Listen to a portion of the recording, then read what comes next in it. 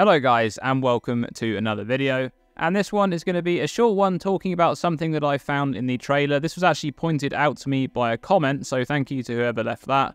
This is about the Chieftain rework and specifically about the Tawhoa's chosen ability that's granted by the Forest Strength Notable.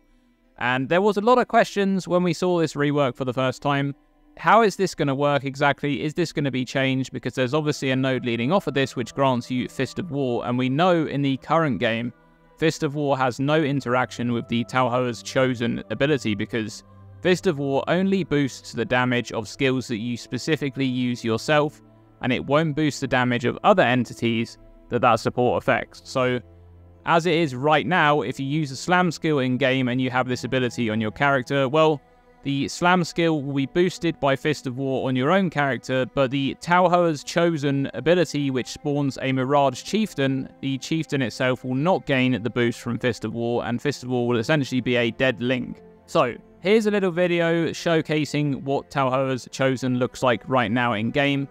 You can see that the animation is very similar to Fist of War, but it's like a bit of a darker colour, and it's basically a Mirage Chieftain that pops out of your character. It looks similar to Ancestral War Chief, the actual animation, and it just performs an attack, the same attack that you're using, it does it once, and then it disappears. And this has a short cooldown, and then you can use it again, and the Mirage Chieftain will pop out again and repeat your attack. And as I said, if you're using Fist of War, the Fist of War will not affect the Mirage Chieftain's attack, but the Mirage Chieftain's attack is essentially similar to Fist of War because it is boosted by 100% more damage. And this is what it looks like in-game right now. And if we move over to the Trial of the Ancestors trailer, we can actually see in the little section about the new reworked Chieftain, we can see this actually happening on the screen, and it's changed. The ability has definitely changed. Instead of spawning a Mirage Chieftain that looks similar to Ancestral War Chief, it spawns a Mirage that looks more similar to the one spawned by General's Cry. It only spawns one of them, so that hasn't changed. And we can see here that the Mirage repeats the same slam as the Chieftain does, but really importantly, we can actually see from this little bit of footage that the Fist of War support is boosting the damage of the Chieftain's ability, but we can see no Fist of War animation above the Mirage. And I would say that even though this is not 100% confirmation that this is not changing, I think it's a pretty surefire thing to say that the Fist of War support will still not affect the Mirage Chieftain's ability, and the only exception may be that it potentially boosts the damage without playing the animation, which would be really, really weird because the whole reason why Fist of War has an animation is because it has a cooldown, so that you know when it's actually boosting your attack and when it's not. And the other possibility, of course, is that it's somehow still on cooldown for the Mirage Chieftain, but not for the player, but that would be a little bit weird and I don't think that would even be possible. So I think this footage here is almost confirmation that Fist of War will not affect the Mirage spawned by Tawhoa's Chosen. And here's the side-by-side -side footage so that you can actually see both of the animations. You can definitely see that this has changed. So this is being changed, and we know that the strike skills will now affect Tawhoa's Chosen as well.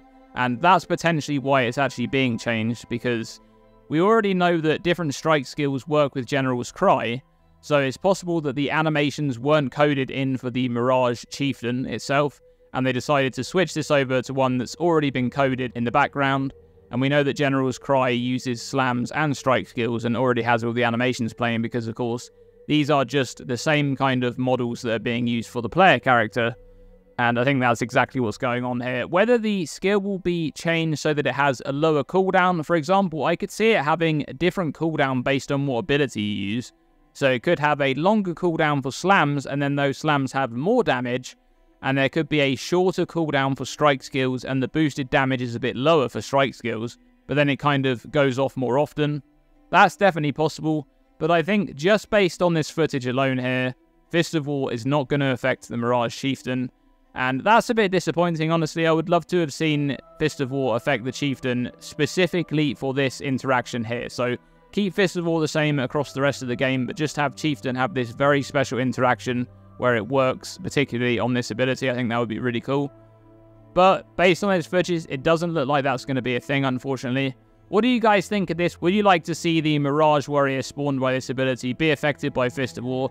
I feel like it wouldn't be that bad for one league to have Chieftain deal a lot of damage with slams, right? Surely. I mean, it's not even that much more. Like, depending on the cooldown, it's not that strong, I think. So, I don't know. I was kind of hoping for this to be changed, but based on this footage, I don't think it is going to be changed. Anyway, guys, that's it for this one. Big shout out to my channel members. I appreciate you guys a lot. Thanks for watching, and as always, stay tuned and stay safe.